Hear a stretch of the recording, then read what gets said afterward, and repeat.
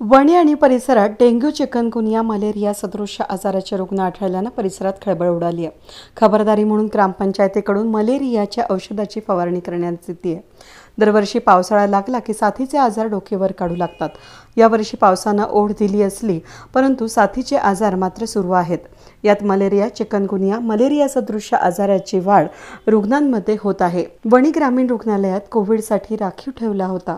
नुकतेच दोन रुग्णालयांपैकी एक रुग्णालय इतर आजारातील रुग्णांच्या उपचारासाठी मोकळा केला असला तरी खासगी रुग्णालयात उपचाराकरिता प्राधान्य दिलं जात आहे वणीतील तेली गल्ली शिंपे गल्लीचा काही भाग लेंडीपुरा या भागांमध्ये या आजाराचे रुग्ण अधिक असल्याचं सांगितलं जात आहे रुग्णांची वाढती संख्या नियंत्रणात आणण्यासाठी विशेष प्रयत्न करणं गरजेचं असल्याचं मत ग्रामस्थ व्यक्त करीत आहेत. प्रत्येक ग्रामपंचायतीला साफसफाईवर लक्ष देण्याचे आदेश जिल्हा परिषदेनं दिले आहेत.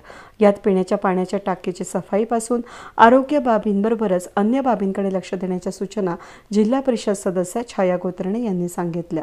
वणी गावाची वाढती लोकसंख्या आणि त्यासाठी आवश्यक असलेल्या उपाययोजना राबवण्यासाठी आम्ही कमी पडत असलो तरी त्यात सुधा सुधारणा करण्याचं काम याला प्राधान्य देणार असून कर्मचाऱ्यांना सफाईवर लक्ष देण्याचे आदेश देण्यात आल्याचं ग्रामपंचायत सदस्य विलास कड यांनी सांगितलं.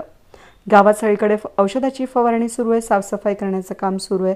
बाधित भागाकडे अधिक लक्ष देऊन ग्रामविकास अधिकारी जी आर आढाव यांनी असं सांगितलं.